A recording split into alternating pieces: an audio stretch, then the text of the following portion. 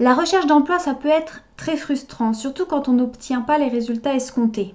Face au manque de résultats, on peut avoir tendance à accuser les circonstances extérieures et à ne pas se remettre en question. Donc dans la vidéo d'aujourd'hui, on va voir en quoi votre attitude influence vos résultats et peut vous faire commettre parfois des erreurs.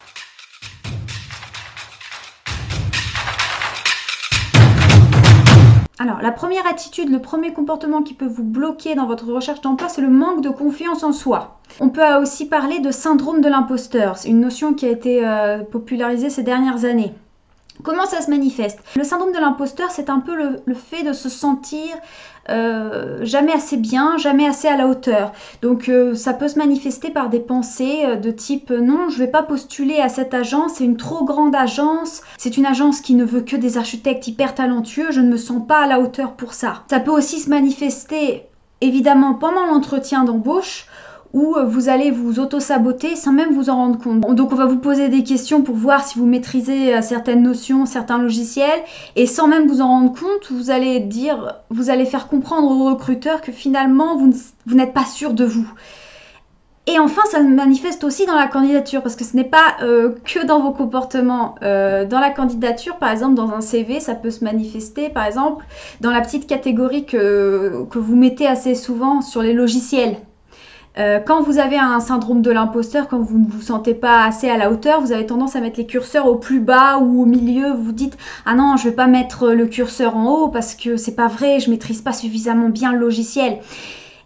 Et du coup, ce qui se passe, c'est que le recruteur en face, le chef d'agence qui va regarder votre candidature, il va pas se dire ah oui, voilà une personne euh, très modeste, euh, euh, je vais je vais la recruter parce que c'est quelqu'un de, au final, elle a plus de qualité que ce qu'elle ne montre. Non, le recruteur, il a quelques secondes pour regarder votre candidature et s'il voit que vous ne vous mettez pas en valeur pendant l'entretien ou sur votre CV, il va passer à la personne suivante. Donc qu'est-ce qu'on peut faire face à ce syndrome de l'imposteur que euh, vous pouvez ressentir? Déjà, la première chose, il faut dédramatiser, il faut arrêter de surestimer le travail en agence, surtout euh, lorsque vous êtes néo-diplômé, que vous n'avez jamais travaillé en agence. Il faut arrêter de s'imaginer qu'on va vous, vous confier des tâches très difficiles. En général, quand vous commencez, euh, et même plus tard, quand vous avez plusieurs années d'expérience, quand on vous recrute, on vous teste. Donc, euh, on va pas vous donner des tâches, euh, on va pas forcément vous donner des tâches ingrates, mais on va vous donner des tâches qui n'ont pas une implication très forte. Si jamais vous faites des erreurs, il n'y aura, pas énormément de répercussions. En général, ça commence comme ça. Et euh, pendant les premiers mois, surtout en ce qui concerne les néo-diplômés, on, va donc vous tester. Vous allez être dans une phase d'apprentissage, euh, d'imitation. Vous allez regarder comment les autres personnes travaillent. On va vous expliquer comment faire et vous allez imiter. Donc ce n'est pas la peine de s'imaginer qu'il euh, faut absolument que vous sachiez faire des familles sur Evit pour être embauché. dans les débuts, vous commencez progressivement. La deuxième chose, c'est qu'il faut arrêter euh, de se comparer, surtout de se comparer dans le vide, si je peux le dire ainsi, c'est-à-dire d'imaginer que les autres jeunes architectes, les autres architectes sont meilleurs, euh, qui savent mieux travailler que vous. Donc cessez la comparaison et euh, se dire que vous avez votre place dans, une agence. Quelles que soient vos qualités, quelles que soient vos compétences, vous êtes unique et ces qualités et ces compétences seront reconnues. Et également, donc, à partir de là, passer à l'action. Ne pas se dire ah non, je suis pas assez bon, donc je postule pas. Oser sortir de sa zone de confort et se dire voilà, euh, bon, c'est une agence qui m'impressionne un peu, mais je vais quand même essayer, je vais postuler, je vais envoyer ma candidature spontanée et je verrai ce que ça donne. Petite pause ici dans la vidéo pour vous annoncer que euh, nous allons mettre en place une formation sous forme de vidéo qui récapitule euh, tout ce qu'il faut savoir pour trouver un job d'architecte, de A à Z, c'est-à-dire depuis euh, la préparation de la candidature, la définition des objectifs, jusqu'à la période d'essai, la fin de la période d'essai. Donc si vous voulez en savoir plus, je vous invite à vous rendre sur le forum. On va publier régulièrement des sondages, vous montrer comment on avance. De cette façon, vous allez pouvoir vous impliquer dans la réalisation de cette formation et donner votre avis. Deuxième chose, n'oubliez pas euh, de liker la vidéo si vous l'appréciez. Ça permet de la rendre plus visible sur YouTube et d'aider d'autres personnes comme vous qui ont besoin de conseils. Alors on en revient à la vidéo. Quelle est la deuxième attitude, le deuxième comportement qui vous amène à faire des erreurs? Alors, c'est cette attitude qui consiste à se dire je vais prendre le premier job qui vient. Je ne vais pas définir d'objectif. Ce qui compte pour moi, c'est d'avoir le premier job et c'est tout. Euh, donc je ne cherche pas forcément à définir un salaire minimal ou un salaire voulu. Je ne cherche pas à définir un type d'agence qui m'intéresse, que ce soit en termes de projet réalisé ou en termes d'écriture architecturale. Euh, et je, ne cherche pas non plus à savoir combien d'efforts je vais mettre dans cette recherche d'emploi, combien de temps je peux attendre. Donc, comment ça se caractérise euh, Ce comportement, c'est par exemple entre une chose assez typique, c'est d'envoyer euh, des centaines de candidatures spontanées à tous les types d'agences, peu importe, des grandes agences, des petites agences, des agences spécialisées, euh, des agences dans le patrimoine, dans le logement, peu importe. Vous envoyez par exemple dans une zone géographique, vous envoyez hop, vous envoyez votre candidature spontanée, vous faites des copier-coller et puis vous attendez. En général, cette méthode ne fonctionne pas. Pourquoi euh, Déjà, essayez de vous mettre à la place d'une agence, d'un chef d'agence qui reçoit une candidature, votre candidature copier-coller. Vous êtes par exemple un chef d'agence qui fait principalement du chantier, donc vous recevez la lettre de motivation euh, copier-coller, donc euh, Madame, Monsieur, pas de personnalisation. Vous regardez le portfolio, c'est surtout des projets un peu abstraits.